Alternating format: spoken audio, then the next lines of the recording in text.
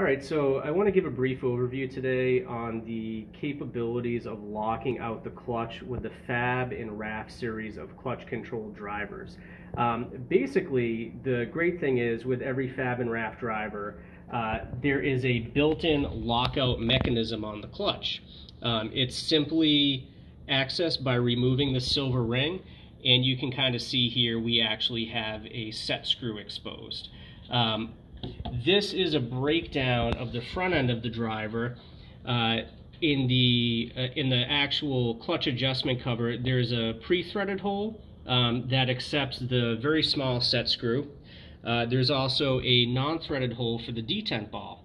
Uh, basically, once those are installed, you have this silver ring here that simply attaches to the front of the driver and basically just covers up both so they're not as easily accessed.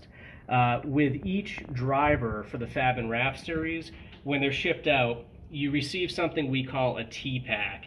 It's basically the Allen wrench, the small set screw, the detent ball, and a set of instructions on how to lock the cover out.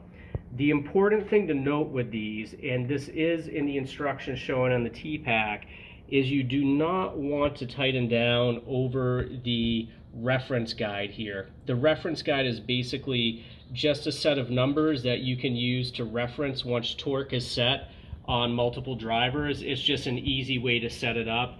If you tighten the set screw over this, the metal's thinner and it's going to cause uh, basically it to indent and then it will cause problems with the clutch.